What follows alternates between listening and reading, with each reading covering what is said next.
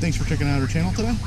What we're going to be looking at is a 2018 Chevy Suburban 3500 HD that we've built for the Rockland Paramedics out of New York.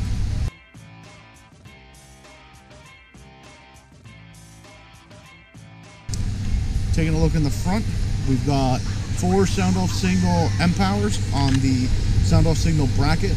These are in dual color configuration with flashing white in drive. The vehicle is currently in park. We also have a headlight flasher installed in the vehicle. That also shuts off with park. on the front side of the bumper, we have Soundoff Signal M powers in dual color configuration. These also have white in them. the white flashing goes on in drive and then it also operates as a scene function with the left or right alley.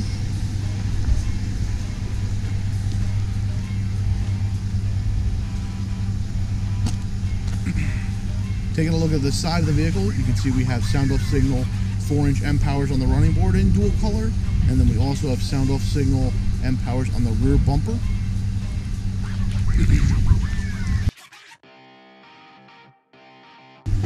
The light bar on this vehicle is a Soundoff Signal 54 inch N-Force. This has a 3M LED traffic emitter. You can also see on the rear side of the bumper we've installed a Kussmaul auto eject.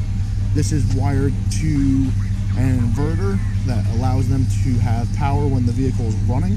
It also has a built-in transfer switch that allows the heater that's installed in the vehicle to heat the vehicle in cold weather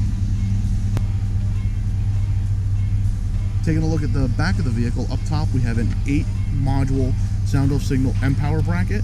This has the white scene function, it has amber override for arrow, and then it has flashing red and blue. In the rear turn signals, we have hideaway LEDs replacing the reverse lamps, along with flashing the parking lights via the blueprint system. On the rear lower bumper, we have Soundoff Signal M powers in tricolor with the white override feature that come on when the hatch is open the vehicle is put in reverse or they hit the rear scene. On the rear license plate, we have dual stacked N-Forces in tricolor. These are in a red amber white or blue amber white configuration with the white scene override.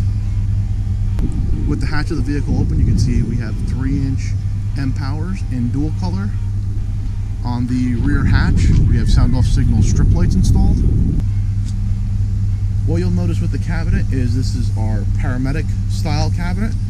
It's got storage for backboards and then it also has a storage drawer for restocking.